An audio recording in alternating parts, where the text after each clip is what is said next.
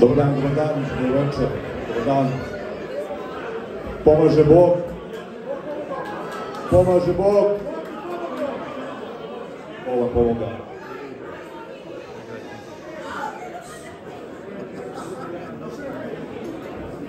Good afternoon. My name is Alexander Sasha Jovicic.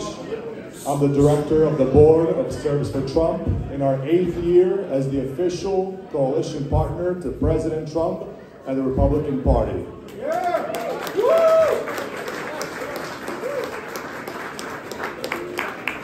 Standing next to me is our executive director for the great state of Wisconsin, Lucas Baker, who has been an incredible friend to the Serbian community at large.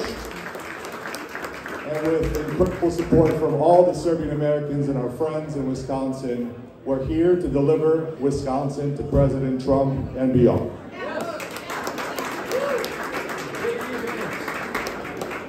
I wanted to thank, obviously, our incredible guests, but before everything else, I wanted to say thank you to our founder, Dr. Olga Ravassi, who couldn't be here today, but she's grateful for you all showing up. And thank you for that. And I wanted to thank our guests individually, and of course, everyone who has made sure, including yourselves, that this event is a huge success. Before I hand it over to Lucas to tell you a little bit about the engagement that Serbs for Trump had had and the impact we've had here in Wisconsin, I wanted to thank Ambassador Ric Grenell for the incredible work he's done on behalf of the Serbian American community and community at large. Please, round of applause for Ambassador Grenell.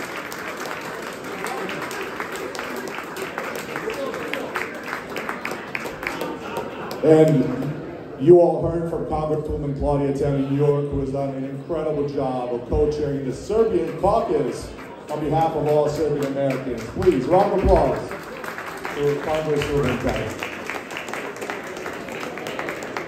Of course, as you heard, the incredible Governor Ron Johnson is on his way. He was stuck in traffic just like you all were. And he'll be here in just a couple of minutes. And of course, Rod Blagojevich is here in the building as well. You will be hearing from him as well. Before I hand the mic, I want to say thank you to Miros Labiovic and Ivan Trifunovic and every single human who has made this event incredible. And thank you all for showing. Please, a round of applause for incredible Executive Director of Wisconsin, Lucas Baker. How are we all doing? Are we ready to deliver Wisconsin to Donald Trump? Are we ready to make America great again? Thank you so much. So, I'm not Serbian. Shocking. um, but I had, I worked for Ambassador Grenell in 2020, and I had the utmost privilege to meet so many of all of you, our Serbian American allies here in our wonderful country. And um, when I was in high school, my water polo coach actually was Serbian, and you know, we were the best. so that, that was great. I hated him at the time because he was always like, more laps, Lucas, more laps. But he was great. But um, Serbian Americans are truly, in the last 20 to 30 years, I think, are the new bedrock of what outstanding immigration means for this country. Yes, sir. They are, you are people that believe in coming here legally, raising a family, owning a business, paying taxes, and living your goddamn lives normally. With less government influence and just saying, leave me alone. I live in a country that was all communism. I know what it's like to live through bullshit regime, and it's no fun. I came to America, and when I met Serbians for the first, all I would constantly hear is, why is your country going in this stupid direction of communism? It's the abyss. It doesn't make sense. And so I just, you know, I immediately had this connection with all of you. And I just think, you know, through my work with Ambassador Grenell and meeting Dr. Ravassi, who is such a great leader and such a champion for all of you and for this movement. She couldn't be here, but she is doing, she is, she sends her love and she is putting up the good fight in your homeland of Serbia right now. So, but she will be back very soon. Um, I couldn't feel more at home when I'm with my Serbian American friends. I could not feel more at home. And I think the story that you all have is truly the American dream. Think about it.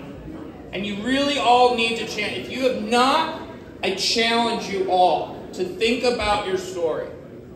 What is your story? I don't know you all personally, but I can give a synopsis of what Serbian Americans are. You left your country because either one, your grandparents your parents or even yourselves left your homeland because you were tired of a regime that put you down, put you into a corner, and constantly a government telling you what you had to do with your lives. You came to America because you wanted freedom, because you saw this beautiful city on a hill, as Ronald Reagan said, and you wanted to make it great. And that's why you came here.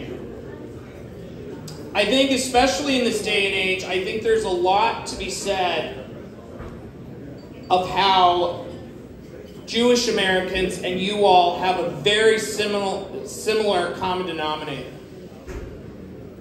If I was to put person X and person Y next to each other, and we didn't even know, and I didn't tell you if they were Serbian or Jewish, and I was just telling you the synopsis, I think it's very similar. One, pushed out of your homeland. Two, put in either death camps or gulags. Three,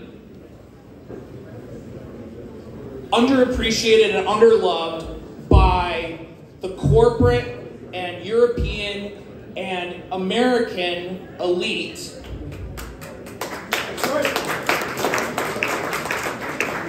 And now you're at, and so literally the same story. It's the same story. So there really is it, what this election is about is finding that common denominator with friends across from different backgrounds. I'm not Serbian, but I found a lot of similarities with you all. Find those similarities with our Jewish American. Find those similarities with our black American friends. Because when you do that, that's how we win. And that is all because of the leadership of Donald J. Trump. That has never been a part of this party before. On Monday night, when I was at the convention, we had, you know, the president. The, we had the president of the Teamsters endorsing the president. I think he spoke for a little too long, but his first four minutes were great. and you know what he said was all this stuff about unions and a lot of the worker and all of that. And 20 years ago, you would have never heard a single person in that event hall clapping for that guy. This year, rounds of applause. Why? Because under Donald Trump, we now have a shit ton of Democrats converted to conservative policies because they see the light and seeing that under Donald Trump, they had more money in their pockets. They were freer. The government was not up their ass. And we were able to do a good job of just living our lives and living truly the American dream. That's what it's about. That's what immigrants like you all have come to this country and made it great for. So I challenge you all find those common denominators with your friends of other groups, other nationalities, wherever you are and make the case as to why they need to vote for Donald Trump in this election. And when you do that, remember also it is about local elections as well. We need to take Tammy Baldwin out of Wisconsin. I'm proud to say I am a gay man, and that lesbian has not done a single thing for gay Americans in this country.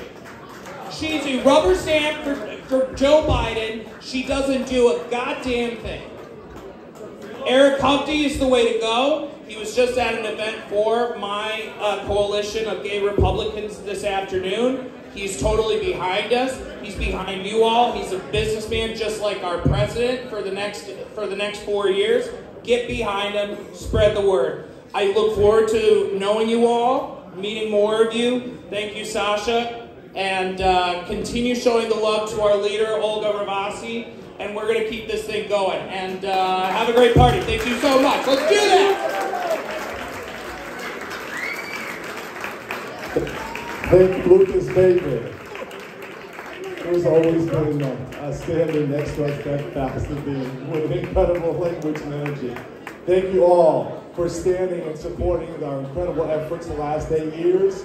We are going to take this one home. Thank you on behalf of the entire organization of Service to Trump, an incredible team that we have here. Thank you, thank you, thank you. This is MAGA Country. Have a great day.